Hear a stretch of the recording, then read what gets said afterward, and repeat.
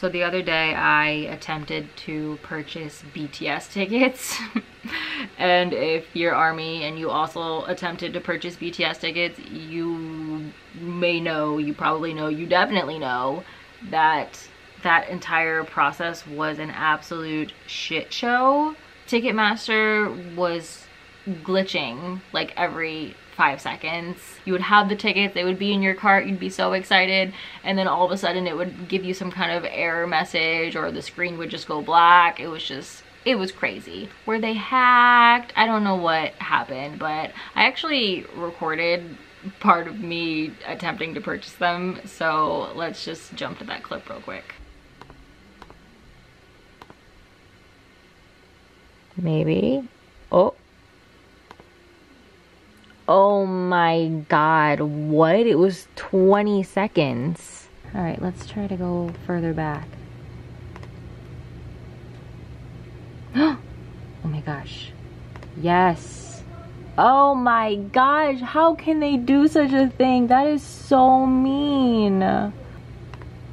Give me these seats. Like, what the hell? Here we go again. It's gonna give them to me and it's gonna fake give them to me. What? What? Alright, I'm gonna just try to get something like way out here.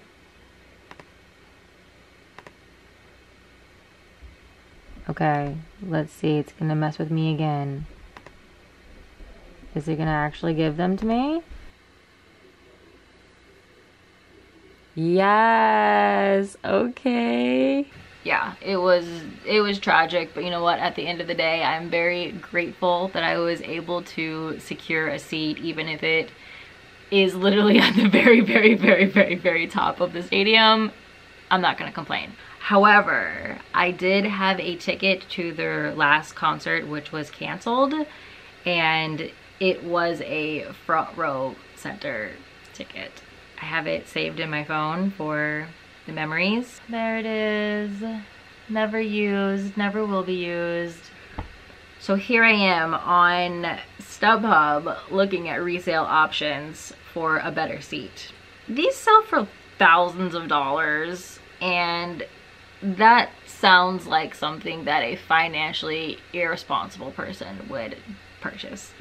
Which you guys know that's not me. That is definitely not me. So we're just, we're just browsing we're just browsing, we're just checking the market to, you know, see hypothetically if I wanted to purchase a resale ticket, how much would I have to spend?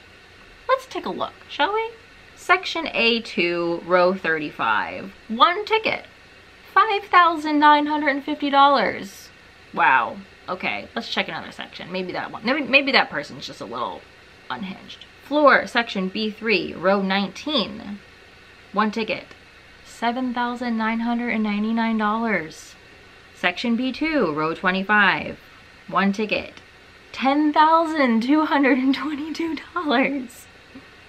I really like how they added the $22 because 10,200 was not enough, clearly. Some people have been requesting more kitty time, so here we go. Here's Bookie. Hmm, baby. Oh, the sweet baby. Yes, the sweet baby. There's Rainy. So pretty. Oh.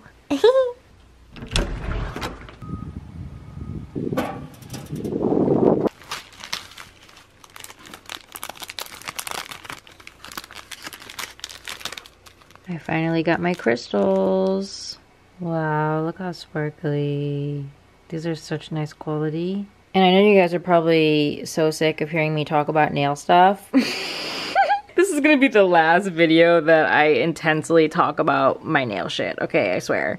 But look at my latest swatches. Is this satisfying or is this satisfying? Just look how many I've completed. There's so many. This is probably about 20 hours of work. So for today's big plans, I am essentially transforming my little nail area into my nail salon. Claws Claws is open for business starting tonight. Side note, I saw some of you guys dragging me for how I pronounce claws.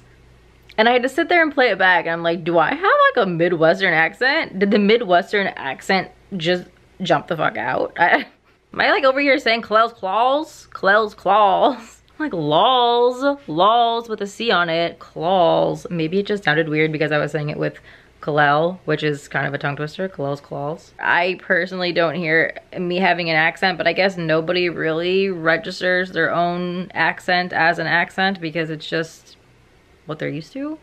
Anyway, Kalel's claws, Kalel's claws is coming to life. Today. I think it's gonna turn out pretty amazing because I have all of these great supplies. I got these cute little organizers from Amazon, more organizers, and I even got some wall shelves to hang. But real quick, before we get started, just a quick thank you to today's sponsor, Skillshare. Skillshare is the ultimate online learning community where you can expand your knowledge on all sorts of different topics. There's courses on photography, graphic design, film, music, animation. Guess what else they have a course on, guys? Nail art. I recently started Imarni's course called Nail Art, Colorful Creative Designs to Paint and Share. And the course covers all of the basics, but also some more advanced designs like fades, Old English lettering, and even flames. So as you can see here, I am watching her course and carefully following her tips on how to paint flames and I think I did a pretty damn good job. So if any of you would be interested in taking Imarni's course or any of the other courses available on Skillshare, they are currently offering my viewers a free one month trial to the first 1,000 people who click the link in my description. All right, I got everything cleared out so we can start fresh. So obviously the foundation of every good nail station is simply a desk, a chair, a supply cart, and a good light. I found this light on Amazon and I thought it would just be perfect because it just kind of attaches to the edge of the table and it's long and it's wide and you can move it in any direction. You can move it up, you can move it down, you can move it over, you can change the temperature. Then these little acrylic drawers I also found at Amazon. I showed you guys earlier. I thought these would be absolutely perfect for my little tubs of gel polish because they're the exact size to fit in here. And a ton of different stuff is gonna go in the supply cart and I can't just throw it all in there. So I'm going to use these little organizers to separate everything out. So I'm just going to kind of mess around and figure out, you know, what kind of order I want to put them in here. Trying to figure out the perfect heights. I think that looks good. Ta-da! And so now all that's left to do is to put everything in here, the fun part even though I have a feeling it's going to take me literally all night. I'm definitely to put these up here in some kind of specific order. I can't decide do I want to do it by color or do I want to do it by product number. So I ended up organizing them by formula and then also number and I've decided to just kind of stagger them back. And now I've put them all there and I get to the end and there's just a little bit of extra space. Which means I have to shift them all down. I really am gonna be here all night.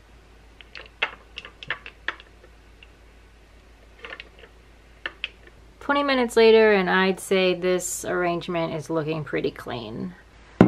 Oh, it's gonna be a long one. Might as well have a Baja Blast.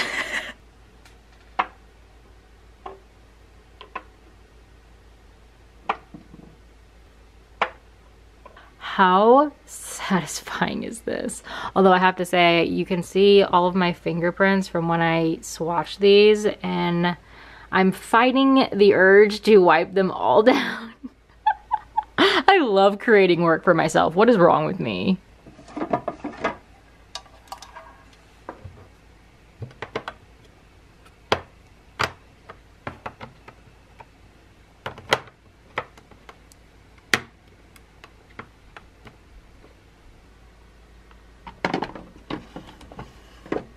My gosh, it's so beautiful. It's so satisfying. Oh, I love it, I love it, I love it.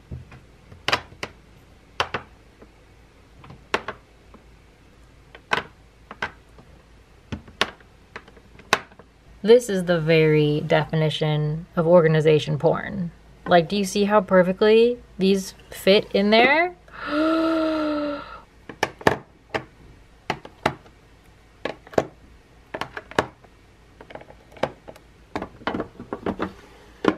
Currently, I just have these sorted by brand. So there's Leaf Gel, Lily Gel, Mithmillo, Glitter, and then this last one is going to be for embellishments.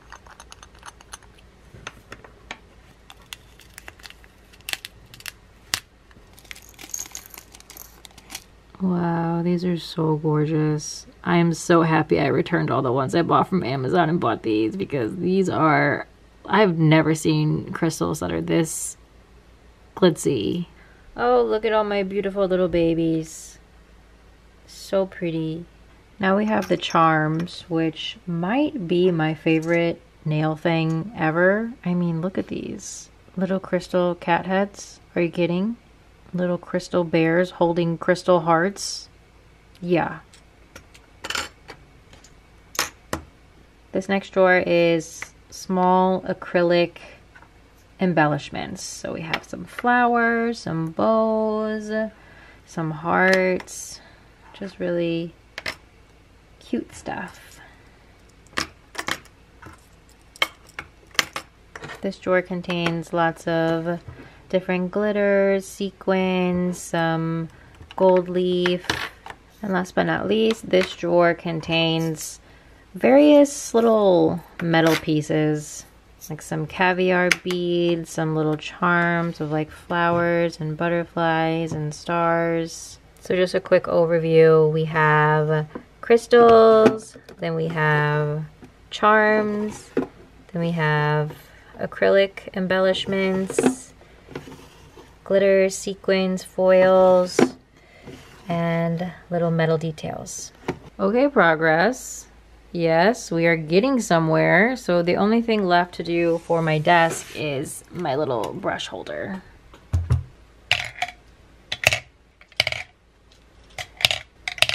Final thing for the desk, of course, my gorgeous little lamp. Phase one of Operation At Home Nail Salon complete. I'm feeling good. It's been about three hours, but that's fine.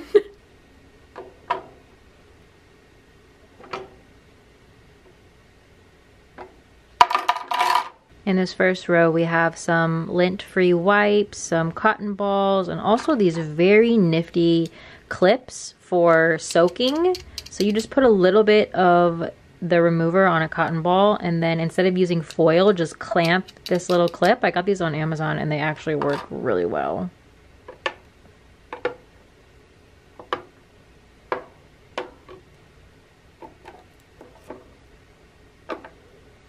In this row, I have all of my base coats, top coats. Just look how pretty. I love this packaging on the Lily Gel.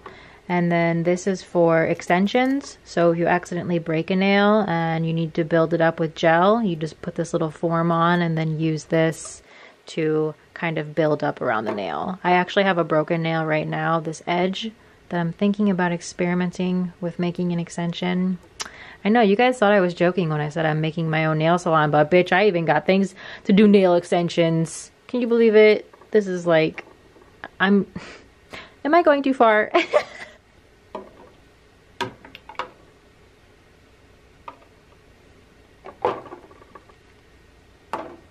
In this row, we have some hand sanitizer and some. My label maker is definitely being put to great use lately. Then also some cuticle remover and some cuticle oil. And in this last section, I have just some little extra goodies like scrub and lotion, cream, foot cream. My clients are to love me so much. And by my clients, I mean me, my mom, my grandma. so in this big container right here in the second row is to be all of my tools.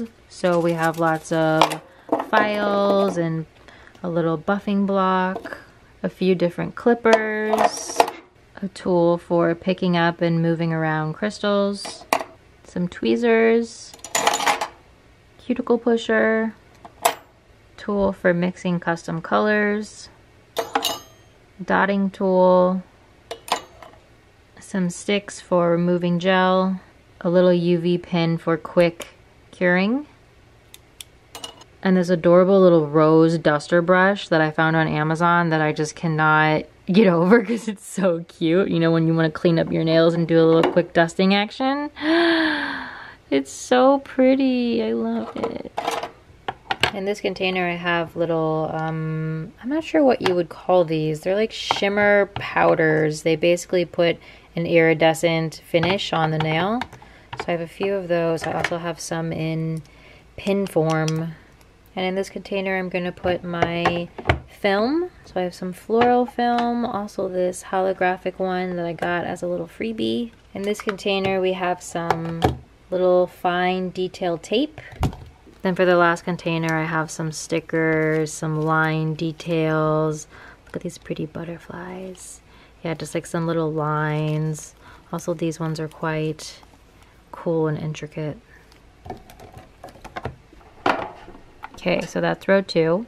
And for the bottom row, I have some bigger items like my drill. This is just a drill that I found on Amazon that I actually think is quite nice. Like it has a digital screen, which is pretty cool. Also some fancy drill bits. Then I have these soft tip extensions from, from the nail that I cannot wait to experiment with. So basically these are a way of making your nail longer without you know, having to do acrylics or gel extensions. These just attach with gel. I can't wait to try. Some specialty top coats, fixers, mixers, that kind of thing. Lots of swatch sticks. A little gooseneck light, which is essential for curing the soft tip extensions. And just this little random container that I like to pull up to put my trash in. And my gorgeous little cart is complete. Ah, oh, I love it. Okay, so just some finishing touches. I have this steel plate that I use for cleaning my brushes and like putting polish on and such. So I'm putting that there. I also got this little Sumikko Gurashi chopstick holder, which I thought would be perfect to actually use as a brush holder. then last but not least, I have these very random little mice magnets that my dad gave me that I'm going to put on my light.